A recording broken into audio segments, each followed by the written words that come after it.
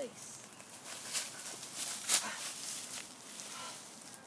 Look at all the, the magnificent trees and the lush scenery. And look at the, the people of the tribes, and they are just all so beautiful. I love, I love eating these plants because everything is edible in Madagascar.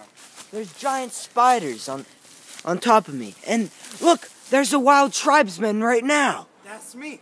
Look you could almost make a house out of anywhere.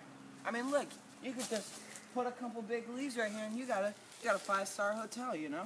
So, the cool thing about Madagascar is, I'm in a big jungle forest. I go 20 minutes that way, I'm in a big city. It's an amazing place. That's why I come to Madagascar.